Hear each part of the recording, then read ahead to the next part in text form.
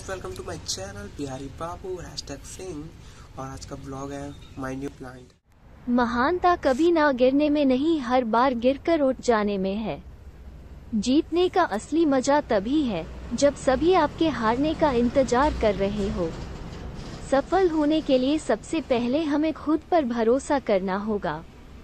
मौज लो, रोज लो ना मिले।